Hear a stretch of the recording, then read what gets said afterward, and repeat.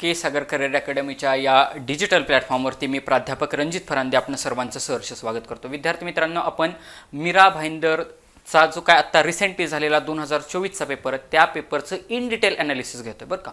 याच्यामध्ये आपण फक्त क्वेश्चन आन्सरिंग करत नाही तर इन डिटेल याच्याच बेसिसवरती कितीतरी प्रमाणात मुंबईचा पेपर असू शकतो. त्याच्यानंतर त्या ठिकाणी ठाण्याचा पेपर बाकी आहे तो असू शकतो. त्याच्यामुळे मीरा भाईंदरचा पेपर नवी मुंबईचा पेपर हे आपल्या दृष्टीनं अत्यंतिक उपयुक्त असलेले हे पेपर आपल्याकडं असणार आहेत. त्याच्यामुळं हा पेपर झाला की लगेच आपण नवी मुंबईचा पेपर दोन हजार चोवीसचा तो देखील अशाच पद्धतीने घेणार आहे. अभ्यास प्लस लॉजिक रिझल्ट शंभर टक्के. हे आपलं समीकरण असे आणि त्या समीकरणानुसार आपण त्या ठिकाणी चालणार आहोत. तर आपले केसागर पब्लिकेशनचे काही महत्त्वाचे संदर्भ साहित्य पुस्तकं आहेत. याच्यामध्ये दोन हजार तेवीसमधील झालेल्या ज्या काही सर्वच्या सर्व अष्ट्याहत्तर प्रश्नपत्रिका आहेत ह्या उत्तरे व स्पष्टीकरणासह हा शब्द फार जास्त महत्त्वाचा आहे स्पष्टीकरणे की स्पष्टीकरणे त्याच्यामध्ये दिलेली आहेत. याच्यामध्ये अडोतीस प्रश्नपत्रिका ह्या जिल्हा ग्रामीण व शहर पोलीसच्या आहेत अठ्ठावीस प्रश्नपत्रिका चालकच्या आहेत बारा प्रश्नपत्रिका एस आर पी एफच्या आहेत. चालू घडामोडीसह हे पुस्तक त्या ठिकाणी अद्ययावत केलेलं आहे. त्याच्यानंतर त्र्याण्णवी आवृत्ती आहे संपूर्ण पोलीस कॉन्स्टेबल. याच्यामध्ये सर्वच्या सर्व विषय कव्हर केलेले आहेत. शिवाय सात हजार प्रत्यक्ष वस्तुनिष्ठ प्रश्न तक्ते मुद्दे विवेचनाद्वारे त्या ठिकाणी सांगितलेलं आहे. पंचवीस हजाराहून अधिक वस्तुनिष्ठ प्रश्नांची तयारी ह्या पुस्तकामधून होते. पूर्वीच्या वीस प्रश्नपत्रिका आणि पाच सॅम्पल क्वेश्चन पेपर उत्तरे व स्पष्टीकरणं याच्यासह या हे या पुस्तकामध्ये दिलेलं आहे. त्याच्यानंतर काही एक निवडक पंचवीस प्रश्नपत्रिका आहेत ह्या विश्लेषणासह याच्यामध्ये दिलेल्या आहेत ज्या दोन हजार तेवीस रोजी झालेल्या. आणि त्याच्यामधून जे काही अतिसंभाव्य क्वेश्चन आहेत ते देखील याच्यामध्ये कव्हर केलेले आहेत. संपूर्ण बुद्धिमापन म्हणून आपल्या बुद्धिमापनचं पुस्तक आहे महाराष्ट्र शासनाच्या शिक्षण संचालनाकडून या पुस्तकाला बेस्ट पुस्तक म्हणून उत्तम प्रकाशन म्हणून याला त्या ठिकाणी नामांकन दिलेलं आहे. त्याच्यानंतर जे विद्यार्थी चालकसाठी फॉर्म भरतात त्याच्यासाठी ही नवीन एडिशन आलेली आहे. पोलीस शिपाई चालक भरती परीक्षा मोटार वाहन चालवण्याचे वाहतुकीबद्दलचे कायदे व नियम याच्यामध्ये सांगितलेले आहेत. शिवाय जे काय वाहतुकीचे वेगवेगळे सिम्बॉल्स असतात ते देखील या ठिकाणी रंगीत फॉर्मॅटमध्ये या पुस्तकामध्ये दिलेले आहेत. शिवाय दोन हजार तेवीसच्या आणि एकवीसच्या प्रश्नपत्रिकेमध्ये जे काही वाहतुकीबद्दलचे जे काही प्रश्न आले होते त्याचा समावेश या पुस्तकामध्ये केलेला आहे. वाहतुकीचे जे काही नियम असतील कायदे असतील याची मुद्देसूद मांडणी या पुस्तकामध्ये केलेली आहे. जो काय मोटार वाहन चालवण्याचा नवीन दुरुस्ती अधिनियम दोन हजार एकोणीसला आला होता तो दुरुस्ती अधिनियम देखील याच्यामध्ये इन्क्लूड केलेला आहे. आणि वाहतुकीबद्दलचे साधारणतः साडेसहाशे एम सी क्यू त्या ठिकाणी कवर होतील अशा स्वरूपामध्ये हे पुस्तक त्या ठिकाणी आहे.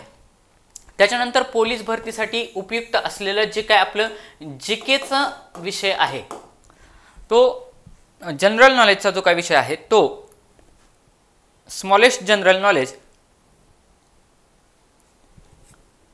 smallest general knowledge या पुस्तकामध्ये कव्हर केलेलं आहे. चालू घडामोडीसह दोन हजार चोवीसच्या ज्या काही चालू घडामोडी आहेत त्या सर्वच्या सर्व याच्यामध्ये इन्क्लूड केलेल्या T C S I B P S पॅटर्ननुसार हे पुस्तक त्या ठिकाणी बनवलेलं आहे. सत्तेचाळीसवी नवीन आवृत्ती त्या ठिकाणी आहे. संपूर्ण मराठी हे पुस्तक आपलं व्याकरण प्लस शब्दसंग्रह अशा स्वरूपामध्ये आहे. आणि या देखील पुस्तकाला महाराष्ट्र शासनाच्या शिक्षण संचालनाकडून सर्वोत्कृष्ट पुस्तक असं म्हणून त्या ठिकाणी याला देखील नामांकन मिळालेलं आहे. याच्यामध्ये शब्दसंग्रह हे एम पी एस सीच्या क्षेत्रामध्ये केसागरचं असलेलं अत्यंतिक त्या ठिकाणी दर्जेदार असं पुस्तक आहे.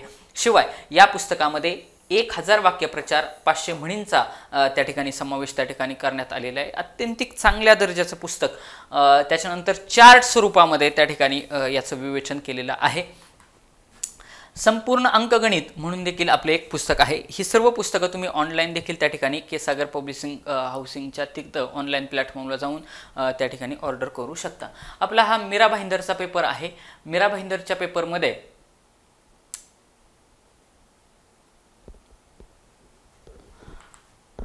चौदा आणि पंधरा नंबरचा आपला प्रॉब्लेम घ्यायचा राहिला आहे तो आपल्याला आठवणीनं घ्यायचा आहे. चौदा आणि पंधरा. आपण शहात्तर सत्याहत्तर अठ्ठ्याहत्तर त्र्याऐंशी. त्र्याऐंशी नंबरच्या क्वेश्चनपर्यंत आपण त्या ठिकाणी आलो होतो. पाठीमागचं लेक्चर पाहिलं असेल तर त्र्याऐंशी नंबरच्या क्वेश्चनपर्यंत आपण आलेलो आहे. ब्याऐंशी नंबरचा क्वेश्चन त्या ठिकाणी झालेला आहे. आणि त्र्याऐंशी नंबरचा क्वेश्चन सोप्या कॅटेगरीतला प्रश्न होता.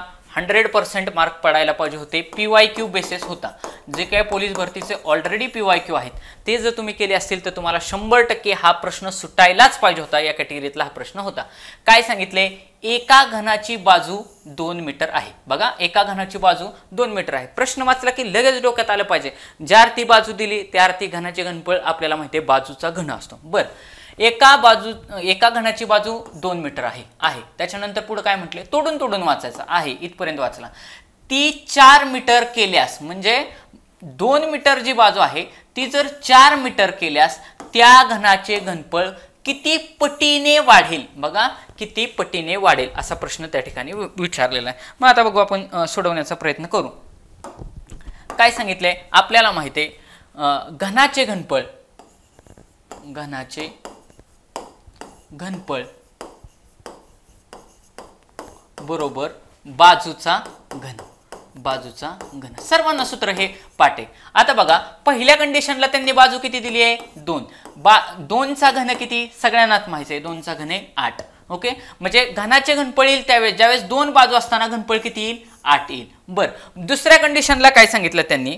की बाबा जर ते ती जी काय बाजू आहे, ही दोन मीटरच्या ऐवजी चार मीटर केली. बघा दोन मीटरच्या ऐवजी चार मीटर केली. तर किती उत्तर येईल? दोन मीटरच्या ऐवजी चार मीटर जर तर चारचा घन चारचा घन किती आहे? चौसष्ट. चारचा घन किती आहे? चौसष्ट. मग हे जे काय वाढले आठच्या पेक्षा हे चौसष्ट जे वाढले हे किती पटीने वाढले? किती पटीने वाढले? आणि विद्यार्थी मित्रांनो त्यांनी क्वेश्चन फ्रेम करताना एक्झामिनरनं एवढा भारी क्वेश्चन फ्रेम केला. जाणून बुजून ह्या आठचा वर्ग किती? चौसष्ट येईल. सगळ्यांना वाटलं वर्ग. बघा आठचा वर्ग चौसष्ट आहे. म्हणजे दोन पटीनं वाढलं असंच केलं आणि दोन हा ऑप्शन ऑप्शन नंबर त्यांनी एकलाच ठेवला होता. इथं बघा दोन हा ऑप्शन ऑप्शन नंबर एकलाच ठेवला होता. ज्यांनी ज्यांनी हा प्रश्न उत्तमरित्या सोडवला म्हणजे त्यांनी घनाचं घनफळ पण काढलं दोननं. त्याच्यानंतर चार मीटर बाजू घेऊन घनाचं घनफळ पण काढलं. आणि थोडी चूक अशी केली की त्यांना म्हटलं आठचा वर्गच त्या ठिकाणी चौसष्ट आहे. वर्ग म्हणजे आपण आठच्या डोक्यावर दोन लिहितो. त्याच्यानुसार ह्यांनी ऑप्शन नंबर एकला टिक केलं आणि घरी आल्यावर कळलं की आपलं चुकलंय. असला चुकारपणा असल्या चुका करायच्याच नाही. तर मी हजार वेळा सांगितले जर ऑप्शन नंबर एकला उत्तर येत असेल परत एकदा चेक करा. परत एकदा कन्फर्म करा की बाबा खरंच उत्तर ते आपलं आलंय का? त्या ठिकाणी आपल्याला करायचं काय होतं? की पटीनं म्हटल्यानंतर नेहमी भागाकार करायचा असतो. चौसष्ट भागिले आठ केलं तर आठी आठी चौसष्ट. आठ पट. बघा पट म्हटलं की दुप्पट तिप्पट चार पट आपण काय करतो? गुणाकार भागाकाराच्या स्वरूपामध्ये ते चालतं. एवढ्या लॉजिकनं जरी गेलं असताना तरी चौसष्ट भागिले आठ उत्तर आठ म्हणून त्या प्रश्नाचं उत्तर. बघा त्या प्रश्नाचं उत्तर हे आठ. ऑप्शन नंबर दोन आहे. ओके? आठ हे ऑप्शन नंबर दोन आहे की त्या घनाची जे काय घनपळे हे आठ पटीनं वाढेल अशा स्वरूपाचा हा प्रश्न होता. पुढचा चौऱ्याऐंशी नंबरचा क्वेश्चन हा देखील समीकरणाच्या स्वरूपातला प्रश्न होता. सोप्या कॅटेगरीतला प्रश्न त्या ठिकाणी विचारलेला होता. बघा काय विचारले एका शाळेतील इयत्ता आठवीच्या आठवीच्या मुलींची संख्या कोणाची? मुलींची संख्या ही मुलांच्या संख्येच्या दुपटीपेक्षा दहाने कमी आहे. बघा सॉरी एका एका शाळेतील इयत्ता आठवीच्या मुलांची संख्या बरं का मुलांची संख्या सॉरी मुलांची संख्या ही मुलींच्या संख्येच्या कोणाच्या? कोणाच्या? तर मुलींच्या कोणाच्या? मुलींच्या. एका शाळेतील आठवीच्या मुलांची संख्या ही मुलींच्या संख्येच्या दुपटीपेक्षा आ- दहाने कमी आहे. बघा मुलींच्या संख्येच्या दुपटीपेक्षा दहाने कमी आहे. झालं. समीकरण मांडायचं लगेचच. वाचायचं की मांडायचं? ज्याला वाचायला चांगलं येतं त्याला शंभर टक्के गणित सुटतं. बघा त्यांनी समीकरण काय सांगितलं? जे काय मुलांची संख्या आहे मुलांची संख्या लॉजिकली विचार करा. आपल्या शाळेत मुलांची संख्या जास्त असते मुलींची कमी असते. बघा त्याच्यानुसार मग ज्यांची कमी आहे ना ती मी मांडली. बघा म्हणजे मी काय केलं? मुलींची संख्या एक्स मानू. तुम्ही मुलांची पण मांडू मांडू शकता. परंतु आपण काय करायचं? जे सोपं आहे म्हणजे समीकरण ज्याचं बनवता येईल ते बघायचं. मुलींची मुलींची संख्या एक्स मानू. बघा. मुली जर एक्स मांडल्या तर मुलं किती आहेत? मुले किती आहेत? तर वाचा नीट मुलांची संख्या किती हो? मुलींच्या संख्येच्या. मुलींची संख्या किती मांडली? एक्स मांडली. बघा. मुलांची संख्या मुलींच्या संख्येच्या. मुलींची संख्या मांडली एक्स मुलींच्या संख्येच्या दुपटीपेक्षा. दुप्पट म्हणजे मुलींची संख्या आपण मांडली एक्स तिची दुप्पट किती होणार? दोन एक्स दुपटीपेक्षा दहाने कमी आहे. मुलींची संख्या आहे एक्स तिची दुप्पट केली दोन एक्स वजा दहा. एवढी काय झाली? मुलांची संख्या झाली. मुलांची संख्या झाली. मग येऊ आपण आपल्या ह्याच्या प्रॉब्लेममध्ये मुलं किती होतील? दोन एक्स वजा दहा. दोन एक्स वजा दहा. कुठून आणलं हे मी? समीकरणावरून आणलं. बर मग त्या वर्गात एकूण एकाहत्तर मुले आहेत. किती? त्या वर्गात एकूण एकाहत्तर मुले असतील तर मुलांची संख्या किती? तर मुलांची संख्या किती? मग आता बघा. वर्गात एकूण मुलं किती आहेत? वर्गात एकूण मुलं आहेत एकाहत्तर. वर्गात एकूण मुलं किती आहेत? एकाहत्तर. मग समीकरण सोडवा. वर्गामध्ये मुलं अधिक मुली असणार. म्हणजेच एक्स अधिक दोन एक्स वजा दहा बरोबर एकाहत्तर. झालं समीकरण तयार. एवढं बेसिक समीकरण तयार करायचं होतं. संपलं. दोन एक्स अधिक एक्स अधिक दोन एक्स किती झाले? तीन एक्स वजा दहा बरोबर एकाहत्तर बरोबर एकाहत्तर. हे वजा दहा आहेत. इकडे गेल्यावरती काय होतील? अधिक होतील. म्हणजे तीन एक्स बरोबर एकाहत्तर अधिक दहा. एकाहत्तर अधिक दहा. मग तीन एक्स बरोबर एक्क्याऐंशी. आता हे तीन गुणलेत इकडे गेल्यावरती भागिले होतील. काय होतील?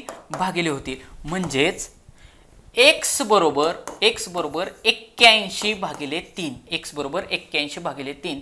म्हणजे एक्स बरोबर सत्तावीसचा पाडा ज्यांना पाठ असेल तर ठीक. नाही तर सरळ सरळ आपला भाग घालायचा तीन एके तीन तीन दुने सहा. सहा ह्या आठातनं सहा गेली. खाली किती उरतील? दोन. हा एक त्याच्यावरती मांडला. सात त्रिक एकवीस म्हणजे सत्तावीस. पण एक्स काय मांडले तू? आपण एक्स मांडल्यात मुली. एक्स काय मांडलेत? एक्स मांडल्यात मुलींची संख्या. म्हणजे एक्स आली मुलींची संख्या. मग जर मुली कळत असतील तर वर्गात पोरं किती एकाहत्तर आहेत. म्हणजे एकाहत्तर वजा सत्तावीस जर केली तर कोणाची संख्या मिळेल? आपल्याला मुले वर्गात किती आहेत ती मिळेल. मग आता एकातून सात जातात का? जात नाहीत. ह्याच्यातून एक हातचा घ्यायचा. म्हणजे इथं किती होतील? अकरा होतील. इथं किती राहतील? सहा राहतील. ह्या अकरातून सात गेले. बघा अकरातून सात गेले. खाली किती उरतील? चार. हिथं इथं किती? इथं सहा. सहा वजा दोन चार. म्हणजे त्या वर्गामध्ये चव्वेचाळीस मुले आहेत. त्या वर्गामध्ये चव्वेचाळीस मुले आहेत. ऑप्शन नंबर एक त्या वर्गामध्ये चव्वेचाळीस मुलं होती. आणि बघा ना बाकीचे ऑप्शन कसे चव्वेचाळीस चोपन्न चौसष्ट म्हणजे शेवट चार यायला पाहिजे. शेवट चार यायला पाहिजे. ऑप्शन नंबर दोनला तुम्ही मार्क करायला नको होतं ओके म्हणजे अशा पद्धतीने त्या ठिकाणी सोप्या कॅटेगरीतला प्रश्न आहे. हा तुम्हाला सुटणं अपेक्षित होतं ओके पुढचे प्रश्न.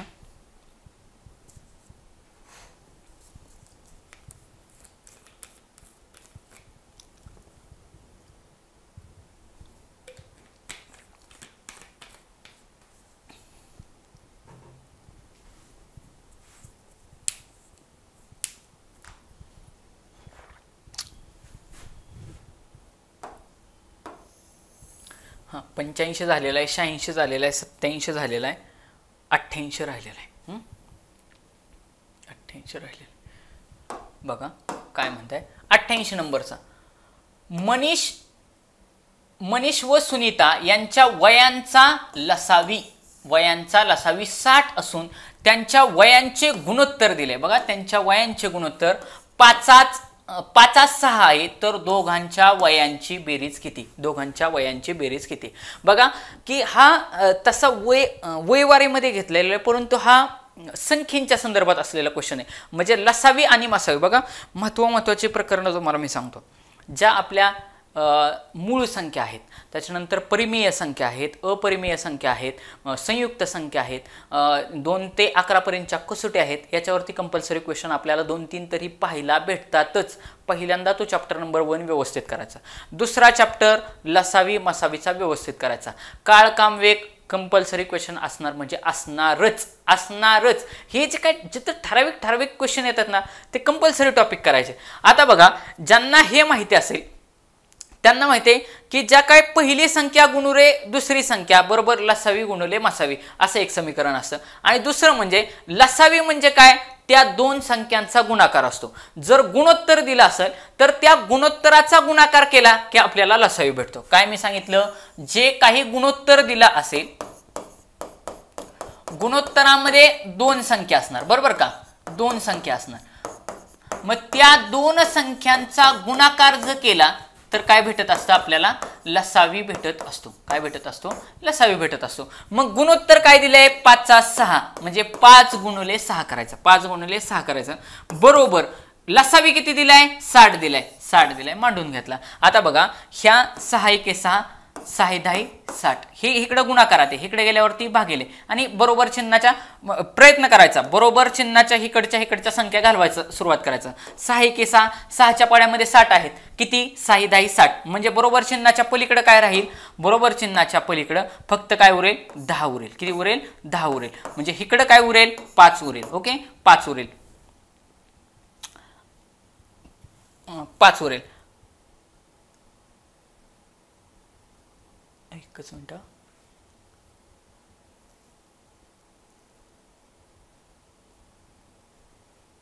हां. पाच उरेल मग सॉरी माय मिस्टेक सॉरी जर आपल्याला सॉरी माझ्याकडून चुकलं कारण तो फॉर्म्युला वेगळा आहे. तो फॉर्म्युला असा आहे की दोन संख्यांचा म्हणजे पहिली संख्या तो फॉर्म्युला पण लिहून देतो. यादा कदाचित त्या टाईपचं गणित आलं तर तुम्हाला यायला पाहिजे. पहिली संख्या गुणुले दुसरी संख्या दुसरी संख्या बरोबर लसावी गुणुले मसावी. लसावी गुणुले मसावी. लसावी गुणुले मसावी ह्या टाईपचा प्रॉब्लेम ऑलरेडी माझ्या ज्या काय यूट्यूबला व्हिडिओ आहेत त्या व्हिडिओमध्ये मी ऑलरेडी घेतलेला आहे. ओके या ठिकाणी काय दिले वो गुणोत्तर दिले. गुणोत्तर किती दिले? पाच सहा दिले. लसावी किती दिलाय? साठ दिलाय. मग हे कसं सोडवायचं? बघा ज्यावेळेस आपल्याला गुणोत्तर दिलेलं असतं बघा ज्यावेळेस गुणोत्तर दिलेलं असतं गुणोत्तर किती दिलंय? पाचा सहा. गुणोत्तर किती दिलंय? पाचा सहा. लसावी किती दिलाय? लसावी दिलाय साठ. मग ह्या गुणोत्तरानं बघा ह्या गुणोत्तरानं ह्या संख्येला भागले असता त्या संख्या भेटतील. बघा गुणोत्तर म्हणजे काय? ही असणारे पहिली संख्या. पहिलं गुणोत्तर म्हणजे काय असणारे? पहिली संख्या. आणि दुसरं गुणोत्तर म्हणजे काय असणारे? दुसरी संख्या. म्हणजे त्या संख्या भेटतील ना आपल्याला? लक्षात येते का? हे जे काही गुणोत्तर असणारे गुणोत्तर दिलंय पाच सहा लसावी किती दिलाय? साठ. गुणोत्तर असतं म्हणजे आता फॉर एक्झाम्पल बघा असं समजा की आठास चार असं मी लिहिलं. आठास चार असं लिहिलं. मग आठ ही पहिली संख्या आहे चार ही दुसरी संख्या आहे. ह्यांना अजून जास्त मला ह्याचं जर गुणोत्तराच्या स्वरूपात मांडायचं म्हटलं तर मी कसं मांडू शकतो? की ह्या अजून ह्याला भाग जातोय. चार एके चार चार दोन्ही आठ. म्हणजे दोन छेद एक. पण तेच गुणोत्तराच्या स्वरूपामध्ये मी असं पण मांडू शकतो? हे झालं गुणोत्तर मांडायचं पद्धत. दोनास एक. म्हणजेच काय? दोन छेद एक दोन छेद एक. आलं लक्षात? मग हे जे काय दिलेलं आहे पाचा सहा दिले म्हणजे ही एक संख्या असणार आहे आणि ही दुसरी संख्या असणार आहे. मग काय करायचं? जे जो लसावी दिलाय बघा जो लसावी दिलाय त्याला ह्या गुणोत्तराच्या संख्येनं भागायचं. बघा त्याला ह्या गुणोत्तराच्या संख्येनं भागायचं.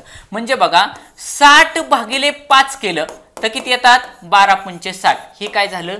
पहिली संख्या भेटली. ही काय भेटली? पहिली संख्या. गणित सोप्या कॅटेगरीतलं होतं बरं का. शंभर टक्के मार्क पडायला पाहिजे होते हां? साठ भागिले पाच केलं उत्तर किती भेटलं? बारा. आणि दुसरे काय दिलंय? दुसरी सं दुसऱ्या गुणोत्तरातली संख्या किती आहे? सहा आहे. मग साठ भागिले सहा केलं उत्तर किती येईल? दहा. उत्तर किती येईल? दहा. ही काय झाली? दुसरी संख्या झाली. दुसरी संख्या झाली. आणि मग मला सांगा ही पहिली संख्या आणि दुसरी संख्या मजेच काय असणार आहे वो मजेच वय असणार आहे. म्हणजेच काय असणार आहे? वय असणार आहे. हे तर सांगितलं ना वयाच्या फॉर्मॅटमध्ये दिले. मग पहिली संख्या किती आली पहिली संख्या आली आपली दहा. सॉरी पहिली संख्या आली बारा. दुसरी संख्या आली आहे दहा. दुसरी संख्या आली दहा. हे म्हणजेच काय असणार आहेत? वय असणार आहेत ना? त्यांची वय असणार आहेत. मग हे हे पहिल्याचं वय आणि हे दुसऱ्याचं वय. आणि विचारलंय काय? ह्या दोघांच्या वयांची बेरीज किती होईल? म्हणजे ह्या दोघांची बेरीज किती होईल? दहा अधिक बारा. म्हणजे बावीस वर्षे. बघा बावीस वर्ष त्यांच्या वयांची बेरीज असणार आहे. किती? बावीस वर्ष त्यांच्या वयांची बेरीज असणार आहे. हे तुम्ही लक्षात ठेवणं अपेक्षित आहे. कुठलं? हे. ज्यावेळेस गुणोत्तर दिलं जातं लसावी दिला जातो त्यावेळेस त्या गुणोत्तरातल्या संख्येनं त्या लसावीला काय करायचं? भागायचं. सेपरेट सेपरेट भागायचं. पहिल्या संख्येने भागले की पहिली संख्या भेटणार. बघा गुणोत्तरातल्या पहिल्या संख्येनं भागलं साठ भागिले पाच केलं पहिली संख्या भेटली. किती? बारा. गुणोत्तरातल्या दुसऱ्या संख्येनं त्या लसावीला भागलं दुसरी संख्या भेटणार. दुसरी संख्या भेटणार. त्या दोन्ही संख्या आल्या की त्यांची जर बेरीज केली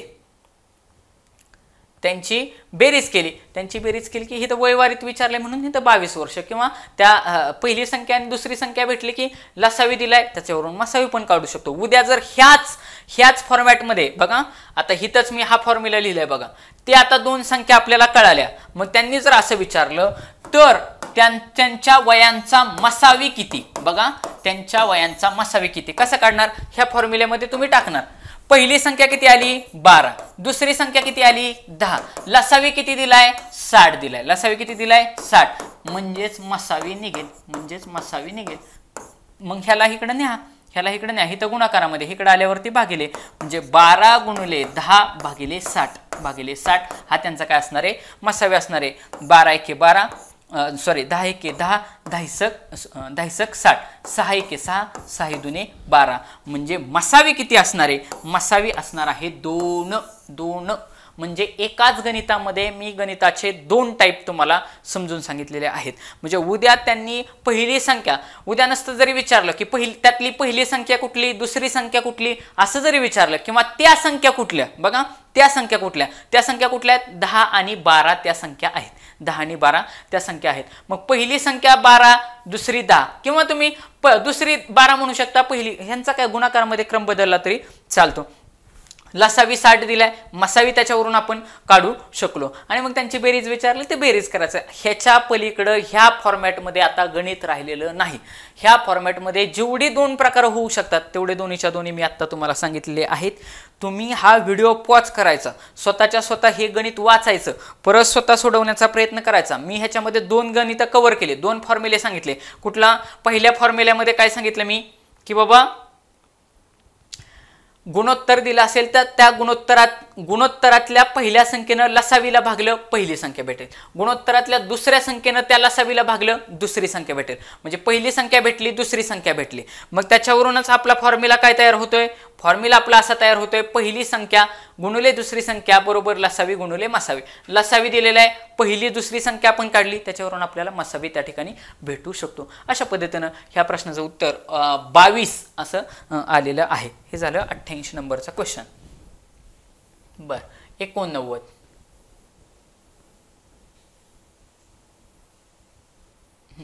एकोणनव्वद घेतलेले. हे तर बघा ऑप्शन नंबर दोन या प्रश्नाचं काय राहील?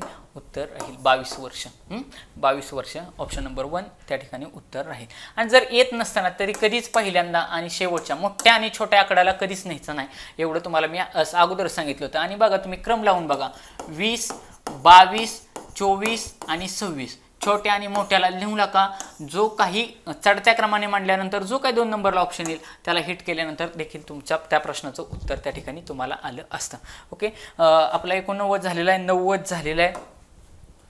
त्याच्यानंतर ब्याण्णव एक्क्याण्णव ब्याण्णव झालेलं आहे त्र्याण्णव झालेलं आहे चौऱ्याण्णव राहिलेला आहे. चौऱ्याण्णव नंबरचं गणित. बघू आपण गणित बघू. सोडू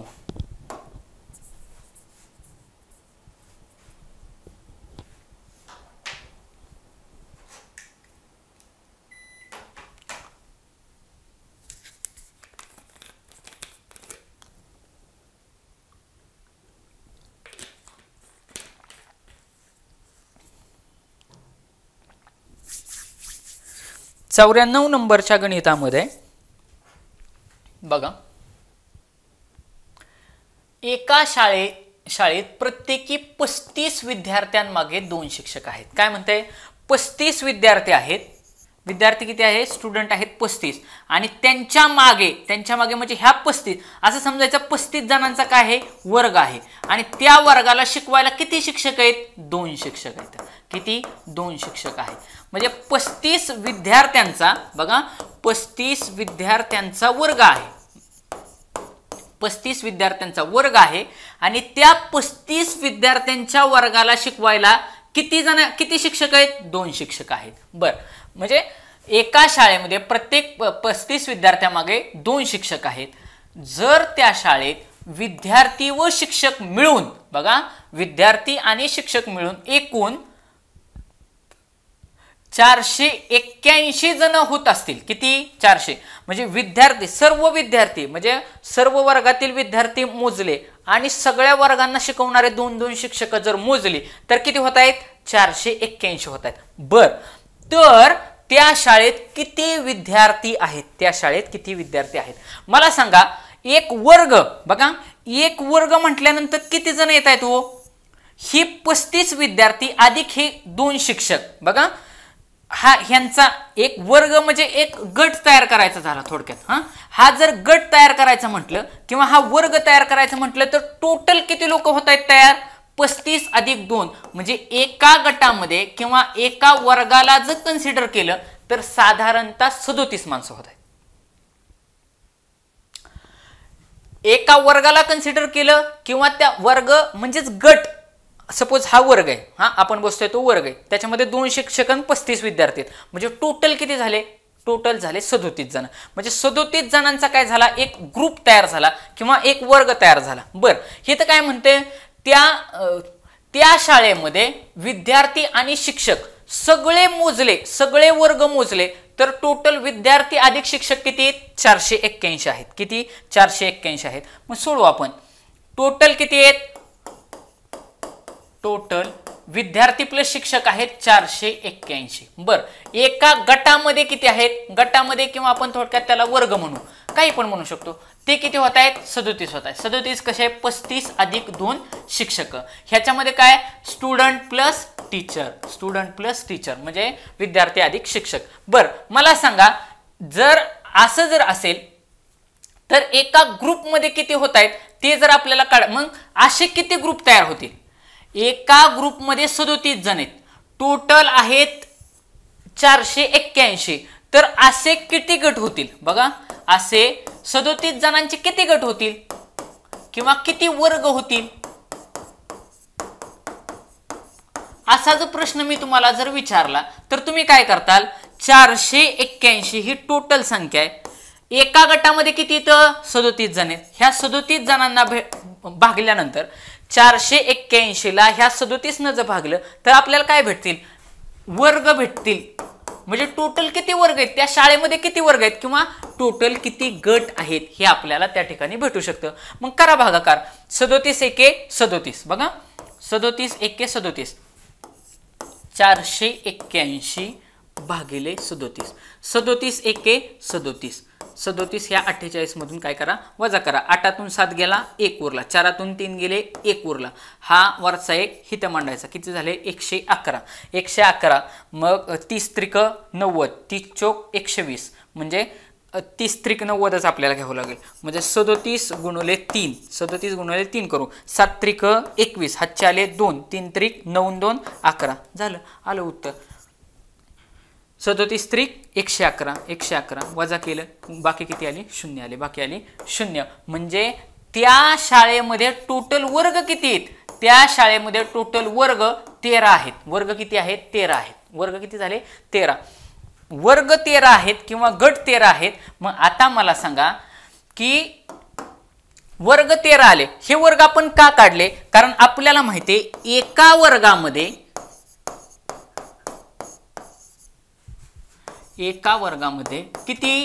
किती विद्यार्थी इथं? एका वर्गामध्ये विद्यार्थी पस्तीस आहेत. किती आहेत? पस्तीस आहेत. एका वर्गामध्ये पस्तीस विद्यार्थी आहेत. जर हे तेरा गट असतील बघा तेरा वर्ग असतील तर टोटल विद्यार्थी किती? टोटल फक्त विद्यार्थी किती होतील?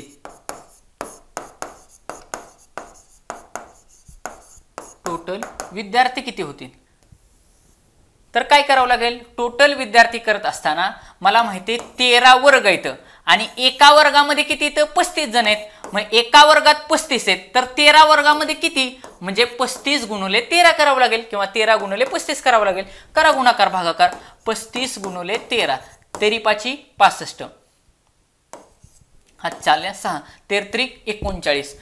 एकोणचाळीस अधिक सहा पंचेचाळीस. चारशे पंचावन्न विद्यार्थी असतील चारशे पंचावन्न त्या वर्गामध्ये विद्यार्थी असतील. किती असतील? चारशे पंचावन्न चारशे पंचावन्न.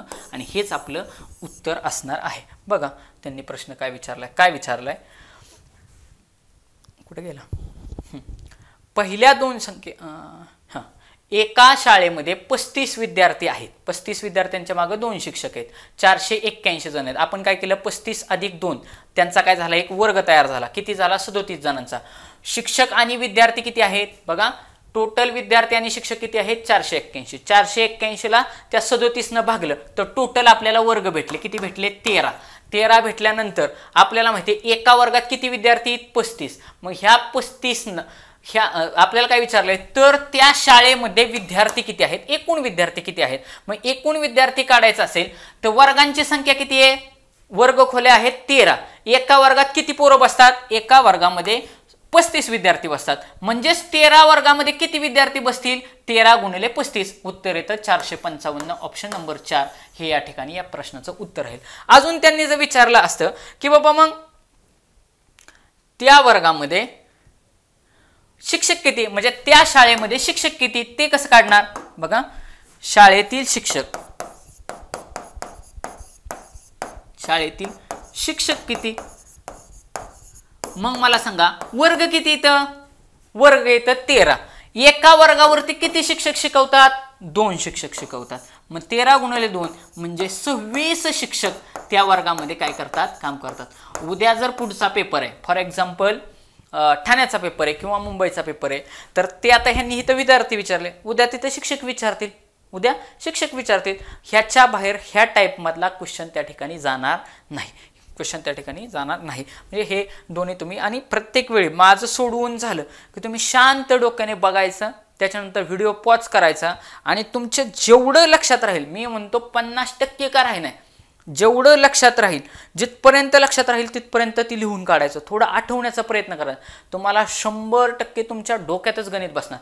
ज्यावेळेस मी सांगत असतो त्यावेळेस अजिबात लिहायचं नाही. मन लावून ऐकायचं की मी करतोय कसं काय? मी काय काय मेथड वापरली? उत्तर कुठपर्यंत आणलं? परत व्हिडिओ पॉज करायचा आठवायचं आणि मग लिहिला घ्यायचं की बाबा रप लिहिलं तरी चालतंय. बघा तुमच्या जास्तीत जास्त काळ त्या ठिकाणी या मेथडनं तुमच्या गणित लक्षात राहतील. पुढचा प्रश्न अं, हां पंच्याण्णव नंबर झालेला आहे. शहाण्णव झालेला आहे. सत्त्याण्णव भेटला आहे. अठ्ठ्याण्णव चिकेचा क्वेश्चन आहे. नव्याण्णव झालेला आहे. आणि शंभर पण झालेला आहे. आता मागचे दोन.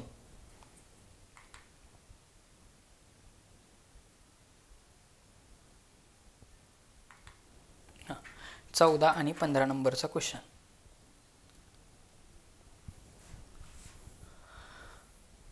चौदा नंबरचा इथं प्रिंट झालं नाही पण पंधरा नंबरचा तुम्हाला सांगतो. पंधरा नंबरचा थोडा हार्ड स्वरूपाचा क्वेश्चन होता पण ऑलरेडी त्यांनी विचारलेला आहे बरं का.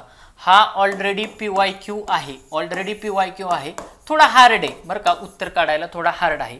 पण एवढं तर लक्षात यायला पाहिजे होतं की बाबा सगळीकडं वायचा घन तीन वायचा घन. इथं बघा काय दिले वायचा चौथा घात अधिक चोवीस वाय वजा दहाचा दहाचा दहा वाय वर्ग अधिक सॉरी भागिले वाय अधिक चार यांचा भागाकार करा व भागाकार व बाकी लिहा. भागाकार व बाकी लिहा. याच्यावरूनच कळायला पाहिजे होतं की कसं सोडवायचं आहे. मग आता बघा कसं सोडवायचं हे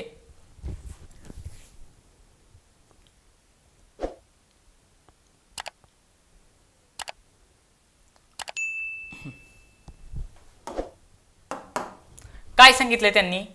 वायचा चौथा घात वायचा चौथा घात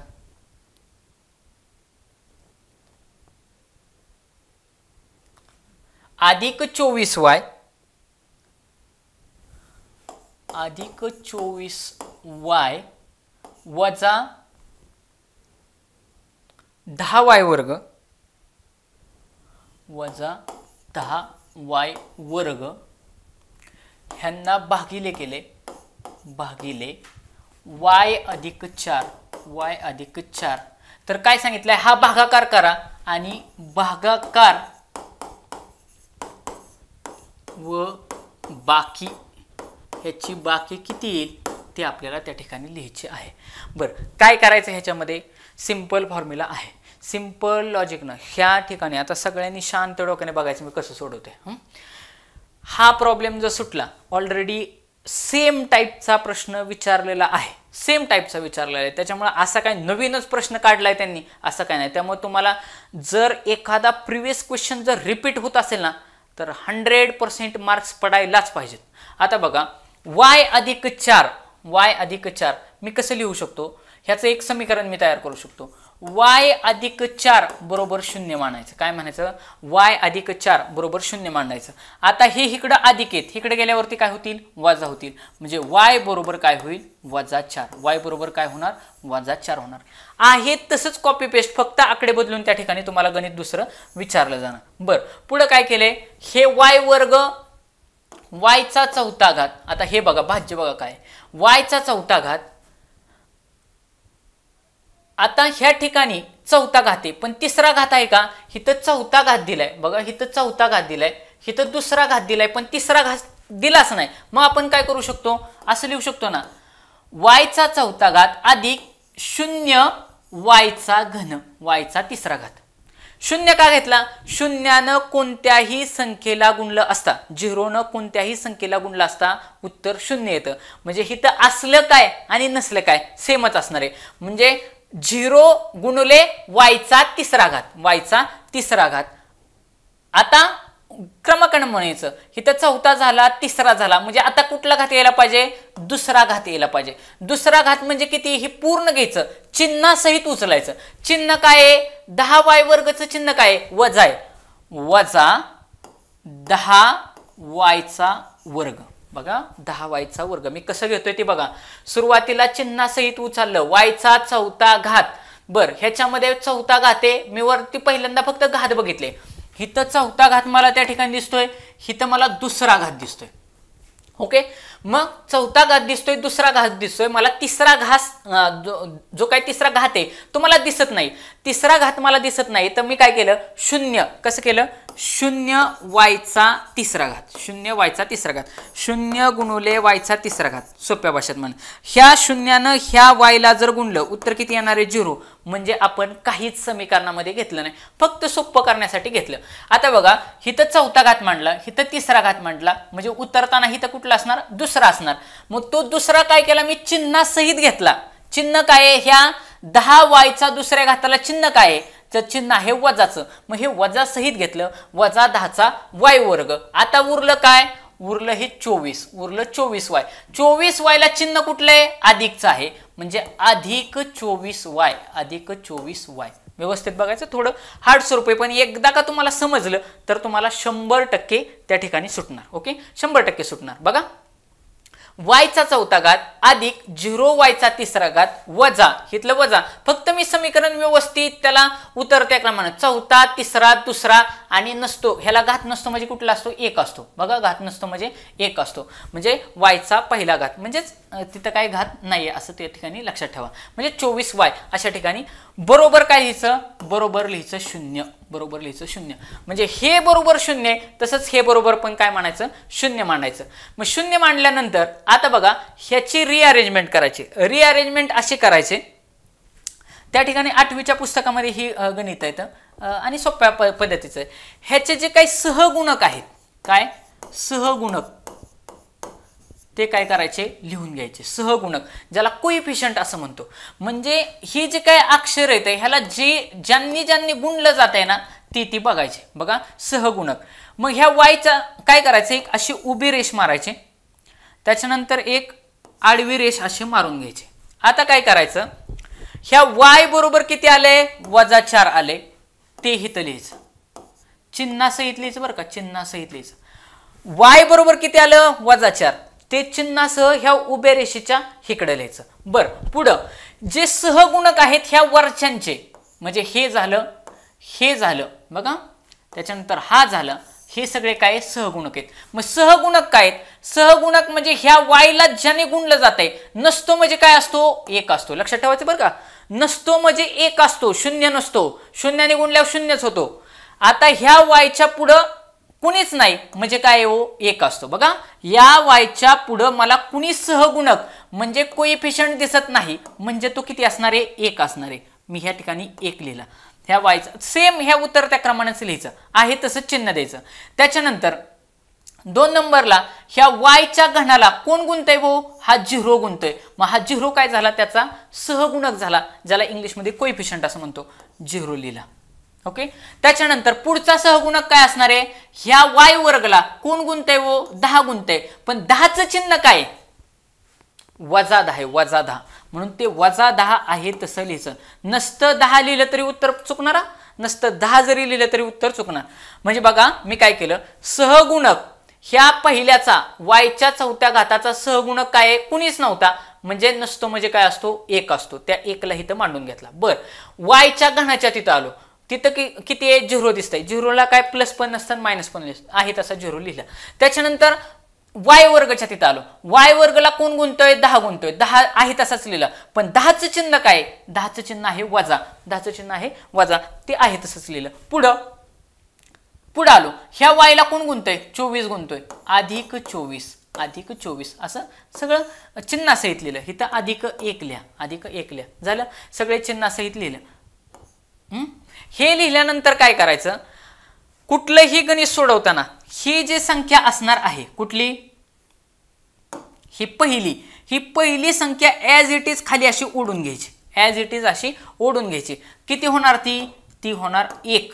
हिथं एक आहे ना? हिथं किती असू? एक असू दोन असू तीन असू आहे तशी तिला खाली ओढायची. तिला काहीच गुणाकार भागाकार करायचा नाही. आता हिथून पुढं सगळी क्रिया करत राहायची. बघा आता हिथं एक आहे तसा खाली ओढला. बघा प्लस एक राहिला.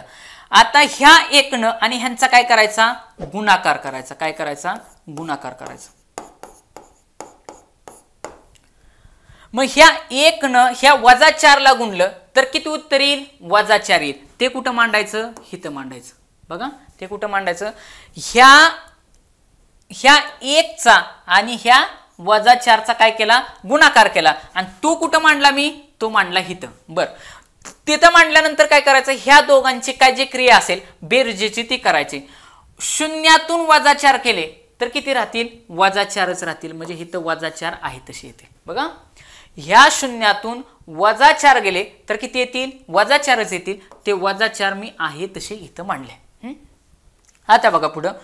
आता परत तीच प्रक्रिया करायचं. मी काय केलं? हा एक खाली ओढला. नंतर ह्या एकचा आणि ह्या वजा चारचा गुणाकार केला. गुणाकार केल्यानंतर हा दोन नंबरला मांडला.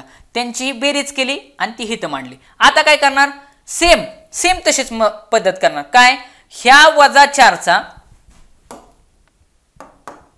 ह्या वजा चारचा आणि ह्या चारचा काय करणार? गुणाकार करणार. बघा. आणि तो कुठं मांडणार? तो हित मांडणार. जो काही गुणाकार येईल तो हित मांडणार मग किती येईल? वजा चार गुणुले वजा चार केलं. बघा मध्ये गुणाकाराचं चिन्ह आहे. सगळ्यांना माहिती आहे चार चोक सोळा. पण वजा वजा काय हो- येत असतं? वजा वजा अधिक होत असतं. म्हणजे ते किती होणार? अधिक सोळा होणार. बघा किती होणार? अधिक सोळा. म्हणजे हित मी काय मांडणार हित मी मांडणार अधिक सोळा. अधिक सोळा. कळलं का? शून्य वजा चार केलं वजा चार हित मांडलं. आता हित जे ह्या रेषेच्या खालील त्यांनी काय करायचं? त्यांनी ह्या रेषेच्या हितल्याला म्हणजे ह्या वजा चारला काय करायचं? गुणत राहायचं. मग ह्या चारनी ह्या वजा चार ना नसतं चार नाही. वजा चारनं ह्या वजा चारला गुणलं तर उत्तर किती येईल? प्लस सोळा येईल. किती येईल? प्लस सोळा येईल. मग आता प्लस सोळा मग ह्यांच्यामध्ये बेरीज करायची. अधिक सोळा वजा दहा. बघा सोळा वजा दहा केलं तर उत्तर किती येईल? सहा येईल उत्तर किती? येईल सहा येईल कारण ह्याचं अधिक चिन्ह आहे. आणि नेहमी मोठ्या संख्येचं चिन्ह त्या ठिकाणी त्याला लागत असतं. मग ह्या सोळाचं चिन्ह कुठलं आहे प्लसचं चिन्ह आहे बघा. मोठ्या संख्येचं चिन्ह लागत असतं वजावाकी करत असताना. सोळातून दहा गेले. उरतात किती? सहा. आणि मोठ्या संख्येचं चिन्ह किती आहे? प्लस आहे. म्हणजे इथं काय उरणार? सहा उरणार. काय उरणार? सहा उरणार. चिन्ह नाही म्हटलं म्हणजेच प्लस चिन्ह असतं. आता परत काय करणार? परत ह्या सहाने कोणाला गुणणार? ह्या सहानं चारला गुणणार. बघा ह्या सहाने ह्या परत चहा चारला गुणणार. सहा चोक चोवीस. सहा चोक चोवीस. मग ते जे काय चोवीस येतील ते कुठं मी मांडणार? हिथं मांडणार. पण चोवीसचं चिन्ह काय असेल? हे कसे सहा येतं प्लस सहा येतं हे कसले सहा हे कसले चार आहेत? वजा चार आहेत. बघा म्हणजे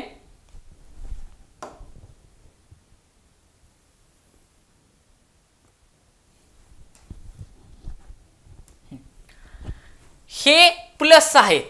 प्लस सहा गुणुले वजा चार. मग अधिक मगाशी आपण बघितलं वजा वजाचा गुणाकार केला तर उत्तर काय येतं? प्लस येतं. पण जर विरुद्ध चिन्ह असतील म्हणजे हे अधिक आहे आणि हे वजा आहे किंवा हे वजा आणि हे अधिक आहे असं जर असतं तर उत्तर काय येत असतं? नेहमी मायनसमध्ये अँसर येत असतं. काय असतं? मायनसमध्ये अँसर येत असतं. मग साहिचोक चौक किती? चोवीस. साहिचोक चौक चोवीस. आणि चिन्ह कुठलं येईल? वजा येईल. बघा चिन्ह कुठलं येईल? वजा येईल. म्हणजे हिथं काय येणार? वजा चोवीस मी मांडणार. कारण ह्यांचा गुणाकार मी कुठं मांडला? ह्या दोघांचा गुणाकार मी हिथं मांडला. बघा साहिचोक चोवीस. त्यांचा गुणाकार कुठं मांडला? हिथं मांडला. आणि मग आता सांगा मला की ह्या अधिक चोवीस मधून वजा चोवीस जर त्यांची बेरीज केली अधिक चोवीस वजा चोवीस उत्तर किती येईल? शून्य येईल. आणि मग शेवटची जे काही येते ना ती असते बाकी. ती काय असते? ती असते बाकी. आणि प्रॉब्लेमचं ज्यावेळेस तुम्ही ऑप्शन बघाल तर फक्त आणि फक्त एकाच ठिकाणी बाकी शून्य दिलेली. फक्त आणि फक्त हिथंच बघा बाकी शून्य. हिथं बाकी दिली दोन ऑप्शन गेला. बाकी दिली वजा दोन ऑप्शन गेला. बाकी दिली चार ऑप्शन गेला. ऑप्शन नंबर एक ह्या प्रश्नाचं उत्तर असणार आहे. बाकीचं मी सोडवलंच नसतं. पण तरी देखील बाकीचं उत्तर कसं येतंय ते तुम्हाला मी सांगतो. बघा आता इथपर्यंत आपण आलो. आता काय करायचं? जे पहिलं दिलंय एकच मिनट.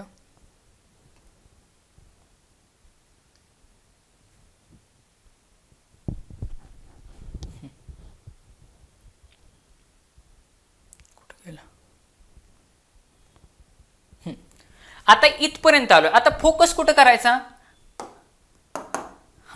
हित फोकस करायचा हित. आता जे ज्याने सुरुवात केलेली असते म्हणजे सुरुवात कशाने आपल्या समीकरणाची सुरुवात आहे? वायच्या चौथ्या घातानं. कशाने? वायच्या चौथ्या घातानं. तर ते नाही घ्यायचं. हित घेताना हे वायचा चौथा घात आहे ना तर हित घेताना वायचा ज्याने आता हिथं वायच्या तिसऱ्या घातानं सुरुवात असते ना तर हिथं मी वायच्या तिसऱ्या घातानं सुरुवात करणार नाही. हिथं वायच्या चौथ्या घातानं सुरुवात आहे ना तर हिथं मी सुरुवात करताना वायच्या चौथा घात. ह्याला झाकून ठेवायचं आणि राहिलेल्या प्रश्न पुढचं मांडून घ्यायचं. म्हणजे ही एक म्हणजे काय? वायचा तिसरा घात. बघा वायचा तिसरा घात. वजा चार आहेत. त्याच्यानंतर काय? वाय वर्ग वाय वर्ग अधिक सहा. अधिक सहा वाय. अधिक सहा वाय. आणि बाकी किती येईल? बाकी येईल शून्य. बाकी शून्य. लक्षात आलं का? हे मी कसं मांडलं? हे एक असतो. हा एक काय आहे? ह्याचा कोइफिशियंट आहे. हितला. म्हणजे नाही नाही गुंडलं त्यांनी चालतं. पण लक्षात कसं घ्यायचं? ज्या समीकरणाच्या घातांकानं सुरुवात असते त्याच्या पुढचे घातांक हिथं खालच्याला मांडत यायचे. लक्षात येते का? हिथं वायच्या चौथा घात. आहे तर हे ज्या ह्या रेषेच्या खालचं जे उत्तर येईल त्याच्यापेक्षा एक न कमी असलेल्या घातानं हिथं सुरुवात करायची. उद्या हिथं वायचा तिसरा घात जर दिला असता बघा हिथं जर वायचा तिसरा घात दिला असता तर मी ह्या एकला कुणी गुणलं असतं? वायच्या दुसऱ्या घातानं गुणलं असतं. येतंय का लक्षात? जर हिथं वायचा पाचवा घात दिला असता हिथं म्हणजे समीकरणाचे प्रॉब्लेममध्ये वायच्या पाचव्या घाताने दिली असते सुरुवात तर हिथं लिहिताना मग वायच्या चौथ्या घातानं त्या ठिकाणी सुरुवात केली असते. तुमच्या लक्षात येईल. मग आता बघा मी काय केलं? काहीच केलं नाही. ही एक आहे तसा खाली लिहिला हा वजा चार आहे तसा खाली लिहिला हा अधिक सहा आहे तसा लिहिला आणि ही जो काय सगळ्यात मोठा घात आहे बघा सोपं करून सांगतो अजून. सगळ्यात मोठा घात कुठला आहे? सगळ्यात मोठा घात आहे हा चार. व चौ चौथा घात ह्या समीकरणामधला ह्या समीकरणामधला सगळ्यात मोठा घात आहे चौथा. त्याच्यापेक्षा एक न कमी घात करायचा. म्हणजे किती किती होईल? वायचा तिसरा घात. आणि तिथपासून ह्याच्या पुढं सगळ्यांच्या पुढं मांडत यायचं. वायचा तिसरा घात. तिसरा घात झाला की कुठला येणार? दुसरा घात. आणि त्याच्यानंतर येणार नसता वाय. तिसरा दुसरा आणि नसतो म्हणजे एक. आणि तेच मी खाली मांडले. वायचा तिसरा घात वजा चार वाय वर्ग अधिक सहा वाय झालं. आणि मग तिथं बघा अँसरमध्ये इथं बघा लिहिले का नाही? वायचा तिसरा घात वायचा तिसरा घात वजा चार वायचा वर्ग अधिक सहा वाय आहे तसंच त्या ठिकाणी भागाकार आलेला आहे. अशा पद्धतीनं आपले तो प्रश्न झालेला आहे. पुढचा चौदा नंबरचा क्वेश्चन आहे जो आपल्याला राहिला आहे मी तुम्हाला वाचून दाखवतो. तो क्वेश्चन ह्या ठिकाणी प्रिंट झालेला नाही. मे बी तुमच्याकडं त्या ठिकाणी तो असू शकतो.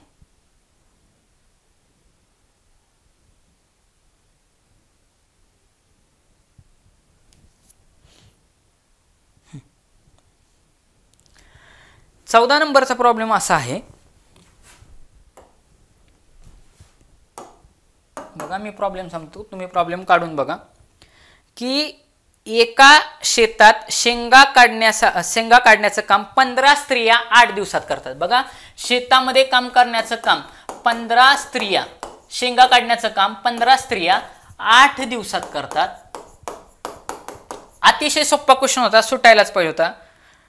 आठ दिवसात पूर्ण करतात तर तेच काम सहा दिवसात पूर्ण करायचं असेल. बघा तर तेच काम सहा दिवसामध्ये पूर्ण करायचे असतील पूर्ण करायचं असेल तर कामावरती किती स्त्रिया याव्या लागतील? कामावरती किती स्त्रिया? सेम टाईपचे प्रॉब्लेम म्हणजे इथं किती स्त्रिया येतील असं विचारले शेंगा काढायचं काम पंधरा स्त्रिया आठ दिवसात पूर्ण करतात तर सहा दिवसातच काम संपवायचंय. तर किती स्त्रिया लागतील? तुम्ही नीट विचार करा. हे आठ दिवसात पंधरा बायका करतात. म्हणजे सहा बायका सहा दिवसात करण्यासाठी इथं बायकांची संख्या वाढेल. याच्यावरून पंधरापेक्षा जास्त ऑप्शन पाहिजे होता. हे लॉजिकली विचार करायचा. आता बघा एकदम सोप्या कॅटेगरीतला प्रश्न आहे. शंभर टक्के मार्क पडायलाच पाहिजे होतं. कारण ह्याचा फॉर्म्युला मी तुम्हाला अगोदरच सांगितला आहे एम डी एच काळकाम वेगामध्ये. एम डी एच मसाला. बघा एम डी एच मसाला असा फॉर्म्युला मी शिकवलेला आहे. तुम्ही माझे यूट्यूबचे लेक्चर काढून बघा. शंभर टक्के हा प्रॉब्लेम तुम्हाला सुटला असता. M D H M D H बरोबर M D H M D H बरोबर एम डी एच एम म्हणजे काय? माणसं. किती माणसं आहेत? इथं पंधरा स्त्रिया आहेत. बरं. दिवस किती लागले? डे म्हणजे डी म्हणजे दिवस. दिवस किती लागले? आठ. एच म्हणजे आवर्स दिलेले नाहीत. बरं. बरोबरचं चिन्ह आहे तसं लिहिलं. त्याच्यानंतर परत त्याच्या पुढं एम डी एच एम म्हणजे किती? काढायचे आहेत. स्त्रिया आपल्याला त्या ठिकाणी काढायच्या आहेत.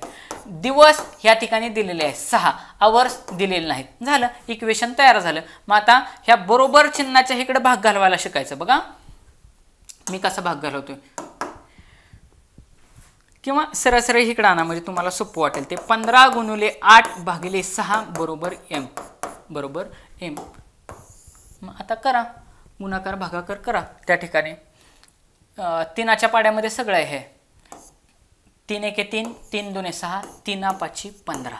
बे एके बे बे चौक आठ. आता वरती किती उरलं? पाच आणि चार. पाच गुणिले चार बरोबर एम म्हणजे त्या ठिकाणी वीस स्त्रिया त्या ठिकाणी वीस स्त्रिया आपल्याला कामासाठी लागतील. त्या ठिकाणी वीस स्त्रिया आपल्याला कामासाठी लागतील. अशा पद्धतीनं मला असं वाटतं की जेवढे आपले अंकगणितचे पोर्शन आहेत ते झालेले आहेत. मग एखादा प्रॉब्लेम जर राहिला असेल तर. लहान असून सोळा घेतला सतरा घेतला अठरा घेतला एकोणीस घेतला वीस झाला एकवीस बावीस तेवीस झाला चोवीस झाला पंचवीस सव्वीस.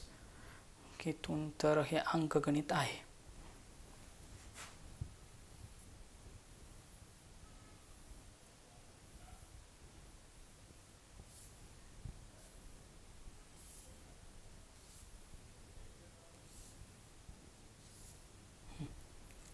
झालेलं आहे.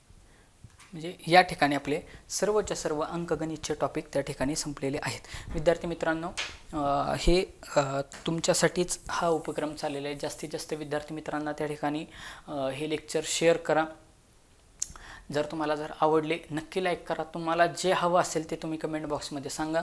उद्याच्या अजून एका पुढच्या पार्टमध्ये त्या ठिकाणी आपलं जी एस जी के काय असेल ते संपून जाईल. आणि त्याच्यानंतर आपण नवी मुंबईचा पेपर त्या ठिकाणी सुरुवात करणार आहोत. रोज तुमच्यासाठी मुंबईची भरती येण्यासाठी हे दोन्ही पेपर जे आवश्यक आहेत मीरा भाईंदर आणि नवी मुंबई ते पूर्णच्या पूर्ण काम करण्याचं काम माझं राहील. व्हिडिओ आवडल्यास नक्की लाईक करा. तुमच्या विद्यार्थी मित्रांपर्यंत शेअर करा. के सागर करिअर अकॅडमीला सबस्क्राईब करा. तुम्ही रणजित सर पोलीस भरती किंवा Ranjit sir P Y Q असं काही जरी टाकलं माझं नाव जरी टाकलं रणजित सर तरी त्या ठिकाणी Ranjit sir P Y Q Ranjit sir police भरती रणजित सर मीरा भाईंदर पेपर असं काही जरी टाकलं तरी तुम्हाला शंभर टक्के त्या ठिकाणी डिरेक्टली माझे व्हिडिओ आत्तापर्यंत घेतलेले सगळे पोलीस भरती किंवा K Sagar career academy Ranjit sir असं टाकलं तरी देखील त्या ठिकाणी भेटतील. रणजित सर नावाने सर्च केले की माझे त्या ठिकाणी भरपूर व्हिडिओ तुम्हाला त्या ठिकाणी पाहायला यूट्यूबला पाहायला भेटतील. खूप चांगल्या पद्धतीचे विद्यार्थ्यांच्यासाठी बाबा तुम्ही पास व्हावा या अँगलनं ते आपण घेतलेले आहेत. पास होण्यासाठी अभ्यास प्लस लॉजिक आणि पेपर सोडवण्याचा अप्रोच ह्या तिन्ही गोष्टी पाहिजेत. ह्याच्यातली एक जरी गोष्ट मिसिंग झाली तरी तुमचा रिझल्ट बसू शकत नाही. कारण कॉम्पिटिशन खूप जास्त आहे. तुम्हाला माहिती आहे तेरा लाख जणांनी फॉर्म भरले आणि सतरा हजारच पोलीस जणांची भरती राहिलेली सगळी जनता परत रिपीट असणार आहे डिसेंबरमध्ये. म्हणजे असं एवढं सोपं नाही. त्याच्यामुळं जोपर्यंत आपला रिझल्ट निघत नाही तोपर्यंत मार्केटमध्ये नवीन काय येते? पटकन शिकण्याचा प्रयत्न करायचा आहे आणि आपल्याला रिझल्ट काढून पटकन बाहेर जायचं आहे. मैत्री ही ती सगळ्या गोष्टी ह्या सहा महिन्यासाठी सहा महिने पण नाही हो. जून आत्ता जुलै चालला आहे जुलै संपला आहे म्हणजे थोडक्यात. मग जुलै संपला आहे ऑगस्ट सप्टेंबर ऑक्टोबर नोव्हेंबर आणि डिसेंबर. पाच महिन्यातच भरती होणार आहे. त्याच्यामध्ये तुम्हाला ग्राउंड करायचे लेखी करायचे असं दोन्हीच बेला आणि मेरिट कमी येते ना आता एकाच ठिकाणी फॉर्म भरत असल्यामुळे मेरिट कमी येते लेखीला जर एखाद्या पोराने ऐंशी पंच्याऐंशी मार्क मारले ना पस्तीस चाळीस मार्क ग्राउंडला मारणारं पोरगं पण बसू शकतं. परंतु ग्राउंड हा आपल्या ग्रामीण भागातल्या विद्यार्थी मित्रांच्या हातातला विषय असतो. त्यामुळे तिथं चाळीस पंचेचाळीस मार्क घेण्याचा तुम्ही जरूर प्रयत्न केला पाहिजे. त्याच्या आत तुम्ही प्रयत्न केला नाही पाहिजे. चाळीस पंचेचाळीस मार्क तिथं काढले ना पंचेचाळीसच्या तिथं टेकवला की इकडे जरी काय दगा फटका झाला ऐंशीपर्यंत असा पेपर आला. ऐंशी मार्क काढणं ह्या पेपरला व्यवस्थित मार्क झाले. ऐंशी म्हणजे टप विषय झाला. ऐंशी मार्क काढले आणि तिकडचे चाळीस असते एकशे वीस शंभर टक्के मेरिट बसणार. बघा ना तुम्ही. ऐंशी अधिक पंचेचाळीस तुम्ही करा. किती झाले? एकशे पंचवीस. एकशे एकवीस ओपनचं मेरिट लागले. ओपन जनरलचं लागले. कॅटेगरीचा तर मी विषयच धरा नाही सध्या. मी ओपन जनरलच्या मेरिटबद्दल बोलतोय. आपल्याला मेरिट कसल्या परिस्थितीत हवे मारायचं आहे ह्या गुंत्यात थांबायचं नाही एवढं लक्षात ठेवायचं. आता परत अभ्यास करायचा नाही. काय करेल जीवाचं रान? एवढ्या दोन चार महिन्यातच करेल एवढं लक्षात ठेवायचं आणि पटकन ह्या सिस्टीममधून बाहेर पडायचं. तुम्हाला व्हिडिओ आवडल्यात नक्की लाईक करा शेअर करा. धन्यवाद.